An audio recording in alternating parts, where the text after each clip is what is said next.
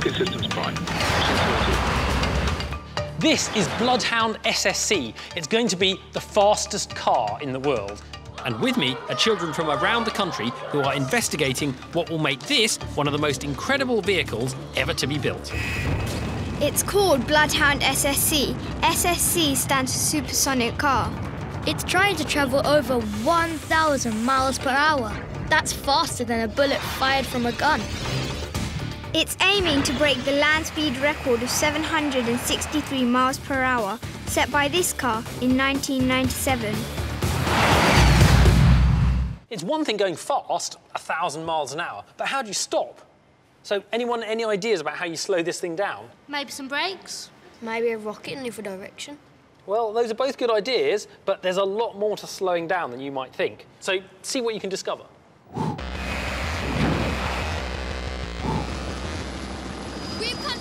To Santa Pod in Northamptonshire.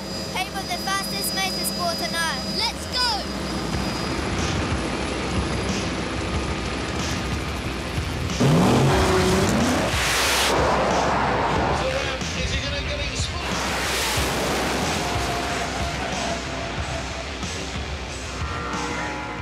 We've come to meet Bloodhound engineer Annie Berrisford. And away from the track, we found a car that looks a bit like Bloodhound. It's long and thin. So we asked Annie how this car compares to Bloodhound. Okay guys, so this is the split second car. It's a jet powered drag car, so that means it's powered by this jet engine here and it goes in a straight line just like Bloodhound does. So Bloodhound also has a jet engine and is designed to go only in a straight line. This is Julian, who is the driver, who's the mad guy sitting in this small uh, cockpit there. How fast do you think this car can go? Top speed about 360 miles an hour. So if it's going that fast, how do you think we slow this car down? Parachutes. Parachutes, that's right. We've got two parachutes sitting at the back of the car. Every time we use one parachute, there's a second parachute. If that one goes wrong, we've got a second one just in case. It's kind of nice to know you're not going to go all the way off the end of the track. We asked Annie if there were any other types of brakes on the car. Okay, so not only has this car got parachutes at the back of the car, it's actually got wheel brakes as well on the front of the car and on the rear wheels. So why do these have to have brakes? This has brakes purely to stop it at very low speeds and to hold it on the start line. If you were to use these when the car was going as fast as it does, it would actually just burn out the brakes. So you need the parachutes for the high speed running and then the wheel brakes for the low speed running. Will bloodhounds have brakes? Yeah, Bloodhound also has brakes, but exactly the same as on this car. We'll use them to hold the car on the start line and also to just slow it down at lower speeds, so below 100 miles an hour. The track, it's time to take the car for a run. Julian uses his wheel brakes to line up on the starting line.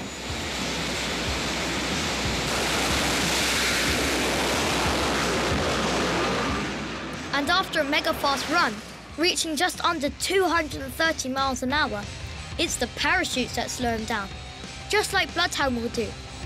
The difference is that Bloodhound will go four times as fast, which is faster than a bullet fired from a gun. To be a grown-up to join in the fun. Some children as young as eight do this sport. Meet 13-year-old Paige Wheeler and her little sister Belle. Paige started the sport when she was just 10, but her 8-year-old sister is officially the world's youngest dragster racer. Well, this is my car. Um, I have a parachute here. Then I have the big tyres. Could get a lot of traction on the track so I can go faster. This is my engine, and then my car's really skinny at the front and big at the back because it needs to be aerodynamic so it can go faster. What's it like to drive your car? Well, when I first put my foot down, my head goes right back into the seat and it actually really hurts. How fast do you go? My top speed is 86 miles per hour, but we're restricted to 85. Although her car is a lot smaller than Bloodhound, Paige has to consider all the same things how to accelerate as quickly as possible with her engine, and then how to slow down with her brakes before running off the end of the track, all in a matter of seconds.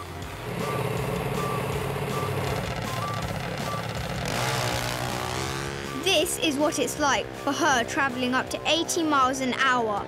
Imagine what it would be like for Bloodhound's driver, Andy Green, travelling over 12 times faster at 1,000 miles per hour. So we know how Bloodhound will slow down, but just how quickly will it slow down? Back at the racing track, we asked Bloodhound teammate Connor to help us find out how quickly brakes can stop a car. So you guys are going to put these boxes where you think is best, nicely in the middle of the road.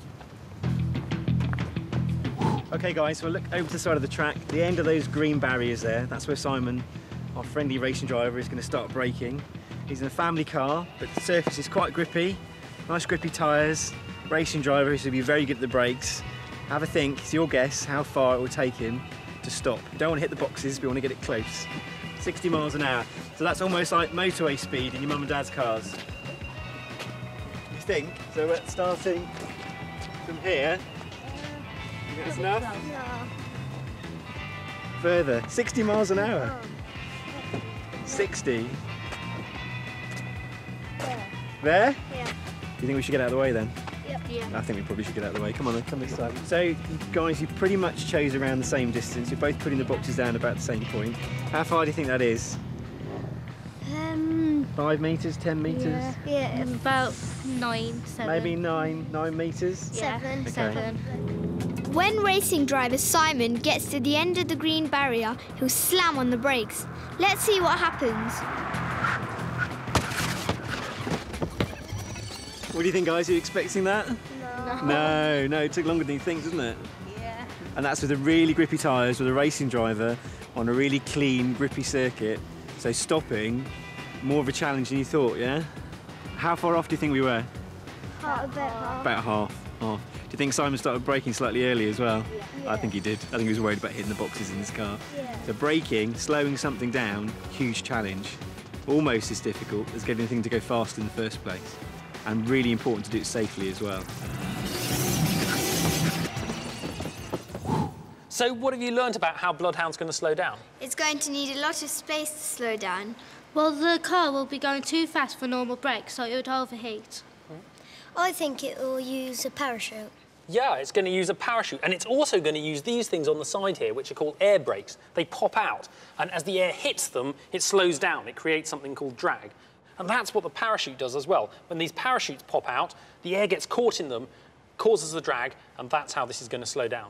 And it's going to be quite an experience for Andy Green to slow down so fast, I can tell you.